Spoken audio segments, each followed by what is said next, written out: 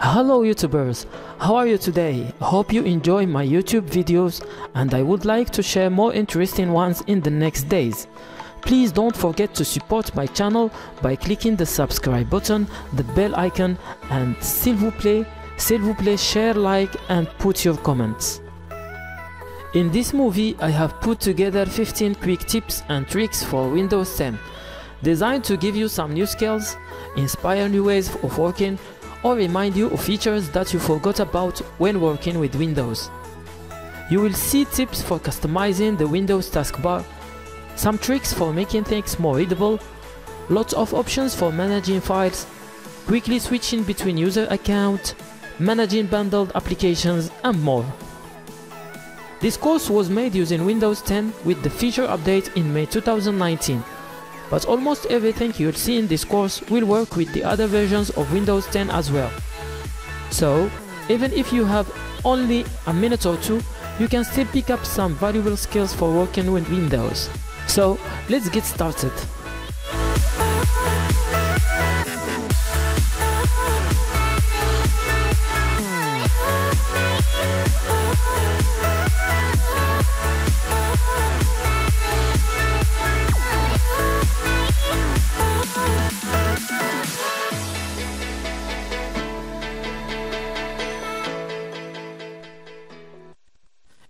To take a picture of your screen in Windows. Use the keyboard combination Windows key plus Shift plus S. A bar appears at the top of the screen offering four options to take a picture. Choose full screen snip to take a picture of the entire screen. A small preview appears at the bottom of the screen. The picture has been copied to the clipboard. You can paste it into a document or click the preview to see the picture. Use the tools at the top of the window to modify the picture. You can crop the picture or use the markup tools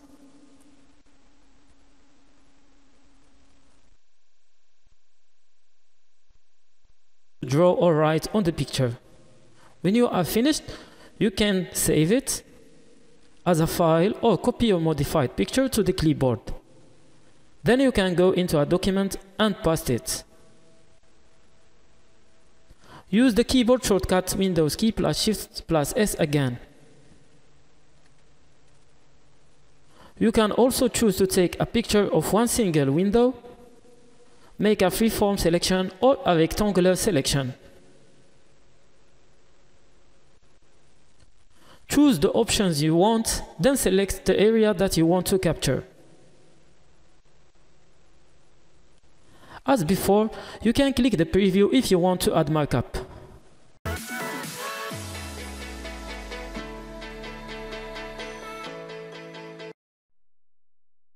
Set up dark mode, light mode or custom configuration, go to settings, to the personalization category, then to colors.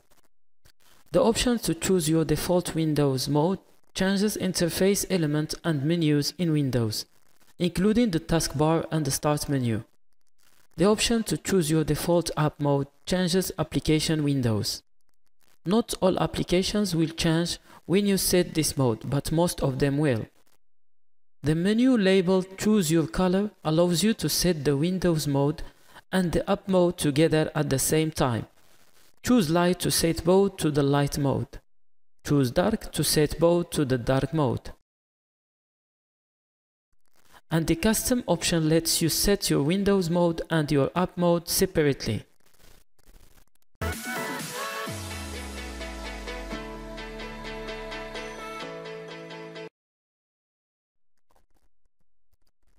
Snap Assist helps you position windows precisely on your screen.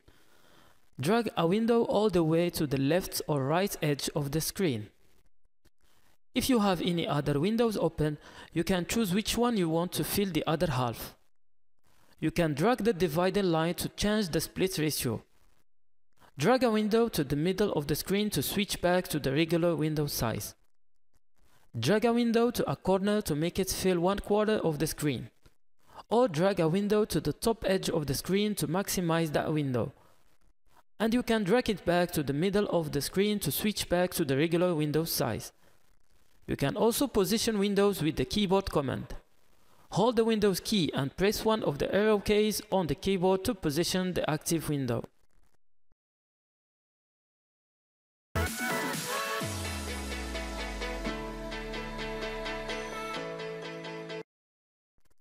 If your screen is cluttered by too many windows, use multiple workspaces to get organized. Click the task view in the taskbar. You will see all of the windows that you currently have open. Click New Desktop to create a new workspace. Then drag some windows to that second desktop. Click New Desktop again to create another workspace. Point at the desktop to see all of the windows in that workspace. Then drag each window to the desktop you want it on. When you are ready, click the desktop that you want to see. You can focus only on the application windows in that workspace.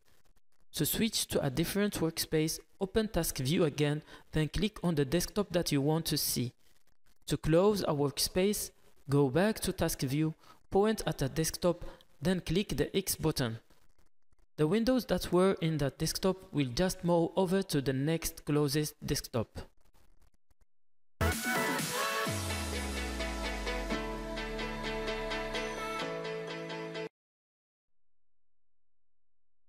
You can use the magnifier option to zoom in a part of your screen.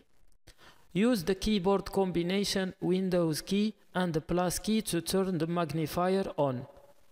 Then you can use these on-screen controls to zoom in closer or zoom back out, or use the keyboard commands.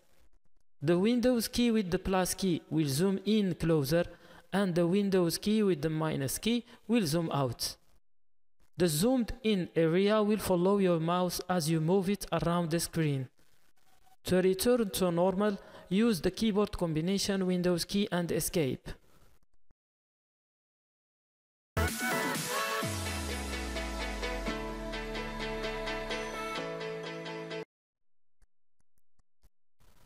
Use Focus Assist to temporarily disable notifications and alerts.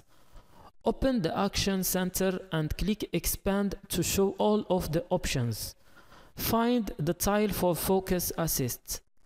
Click to toggle between Off, Priority Only and Alarms Only. To understand how Priority Only and Alarms Only work, you will need to go into Settings for Focus Assist. Right-click on the Focus Assist tile and choose Go to Settings. Alarms only hides all notifications except for alarms that you set in the Alarms and Clock application. This is the most comprehensive and blocks almost all notifications.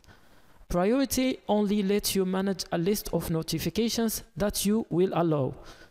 Click the option to customize your priority list and set which notifications you want to allow. Click the back button in the top left to go back. You can also set times and options for when Focus Assist will turn on automatically.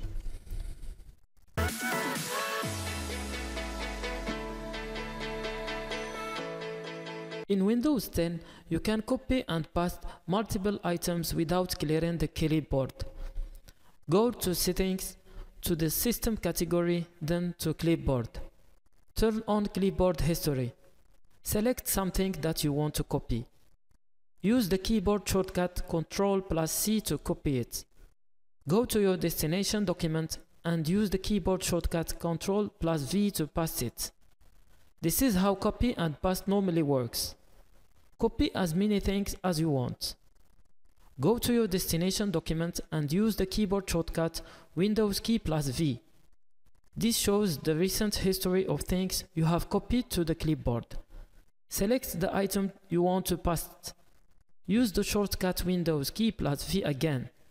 To remove something from clipboard history, click the More button on that item. The button with three dots on it. Choose Delete to remove that item or choose Clear All to remove everything.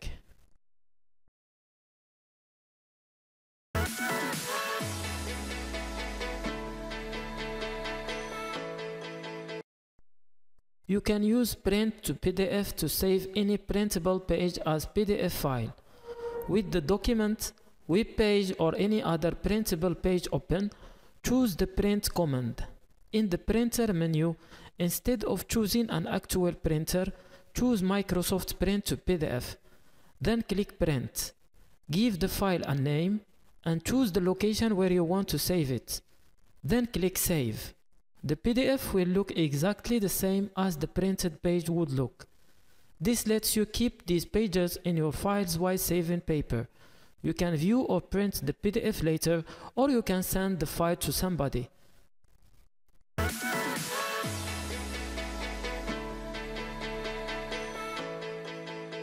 You can change the size of text in the Windows interface to make it easier to read. Go to Settings, to the System category, to Display. Changing your display resolution affects the sharpness and quality of your screen, but can make the interface smaller. The scale percentage can help you adjust this, but it changes the size of all interface elements at the same time. If you need to change the size of text without changing anything else, neither of these give you the control that you need. Instead, go to Settings, to the Ease of Access category, then to Display here. Adjust this slider to make text bigger, then click Apply. Text in the Windows interface is now bigger without affecting the size of buttons, menus or other interface elements.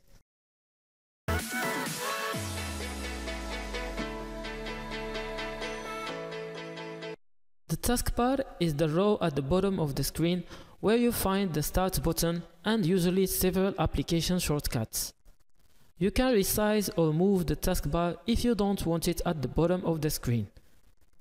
Right-click on the taskbar and choose Taskbar Settings. If you turn on the option to use small taskbar buttons, the taskbar will be much smaller. You can turn this option off to go back to normal. Scroll down a bit. In the menu labeled Combine taskbar buttons, you can switch to Never. Now, when an application is running, it will have a label in the taskbar. Finally, to move the taskbar, go to the menu labeled Taskbar Location on screen and choose a different position. You can move the taskbar to any of the four edges of the screen.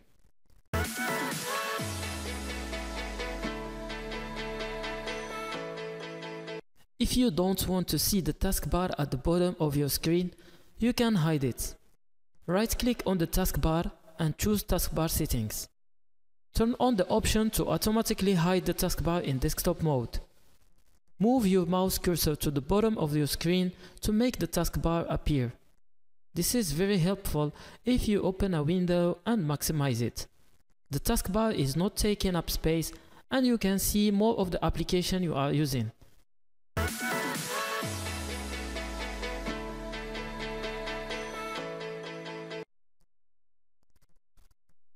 You can free up space on the taskbar by removing Windows Search, the Cortana button or the Task View button.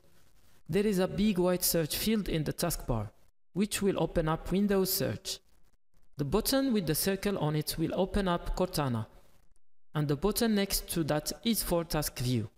Be aware, if you are using Windows 10 before the May 2019 feature update, Cortana and Windows Search are both contained together in the white search field. Right-click on the taskbar to remove the Cortana button and check Show Cortana button. To remove the Task View button and check Show Task View button. Those buttons are no longer in the taskbar. Right-click the taskbar again and go Search. Choose Show Search icon. That shrinks the search field to a smaller button.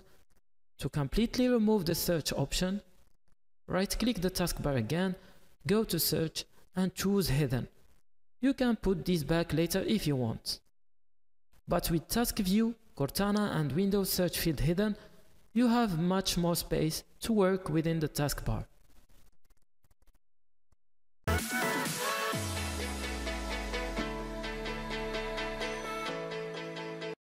You can remove items from the bottom right corner of the screen. This is a part of taskbar known as the system tray. Right click anywhere on the taskbar and choose taskbar settings.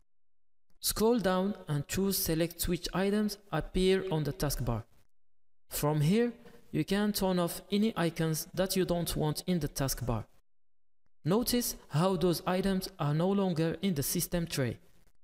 You may notice that not everything from the taskbar is on this list.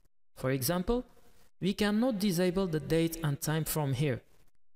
Click the back button in the top left corner, scroll down again and choose Turn System Icons on or off. From here you can turn off the clock option to disable the date and item in the system tray.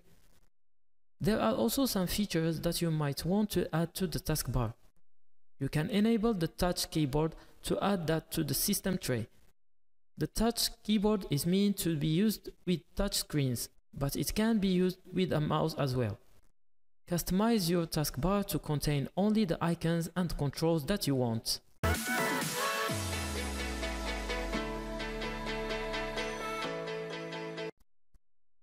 A zip file is a single file that contains several other files compressed together.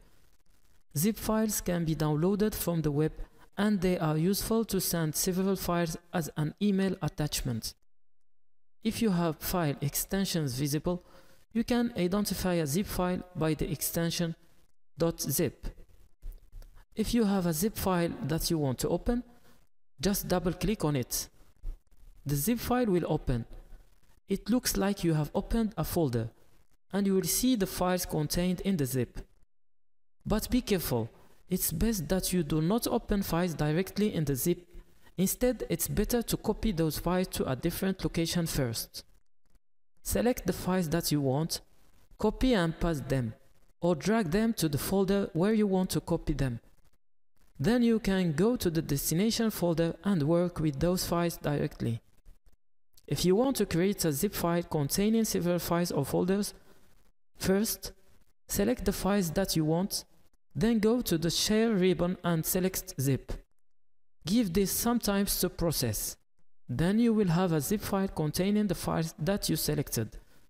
It's a good idea to give that new zip file a name.